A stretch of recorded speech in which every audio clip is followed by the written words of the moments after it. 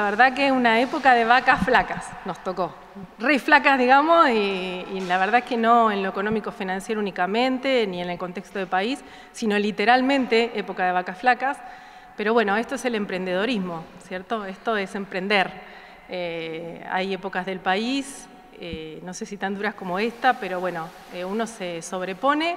La verdad es que siempre esta empresa tuvo un norte, que es agregar valor, no solamente a la materia prima, que estamos a pocas horas de empezar a hacerlo, sino agregar valor en cada una de las decisiones, en cada una de, las etapas que tenemos. Así que bueno, ese es nuestro norte, digamos, agregar valor. Y después hemos pasado por, por un montón, por todas, digamos. Puedes dar clase de todo eso. Tuvimos muchos obstáculos, pero no nos quedamos con los problemas, vamos siempre atrás de la solución. Eh, podemos decir que somos una empresa resiliente, hemos pasado por muchas y las seguiremos pasando seguramente, pero bueno, siempre confiados en que tenemos un producto eh, que va a funcionar, que funciona y que vamos a hacer que evolucione. Y bueno, y este, con el norte de agregar valor, siempre trabajando en equipo, acá cada uno aporta lo suyo, tenemos como una voz siempre que dice vamos, vamos, vamos, el aliento constante de todos y bueno, yo resalto sobre todo eso, el trabajo de equipo, las personas que lo forman. Eh, no es fácil tener una asociación y la verdad que este es un gusto eh, por las personas que lo forman, básicamente.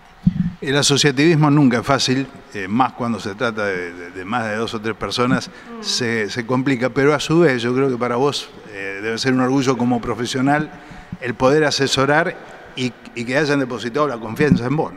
Sí, la verdad que sí, es un gran peso sobre mi espalda, la verdad, pero lo hago y lo asumo con mucho orgullo, eh, porque bueno, hay esto, porque hay un equipo, porque uno ve experiencia, porque uno ve capacidades, eh, porque ves el norte, porque ves la visión, y todos los días hay que trabajar muy duro e intenso e enfocar en las soluciones porque obstáculos hay muchísimos y este país la parte económico-financiera, eh, burocrática, es muy dura para las empresas, pero bueno, somos una empresa que intentamos enfocar en las soluciones siempre. Así que bueno, en ese aspecto tratamos de avanzar y aprender.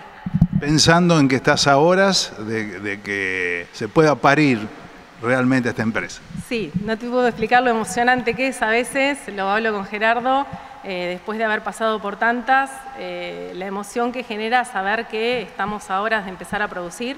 Esto implica, además de lo que se ve, ¿no? del edificio, del equipamiento, implica muchas horas de trabajo en planificación, en organización, eh, intentamos también profesionalizar la empresa, sistematizar los circuitos.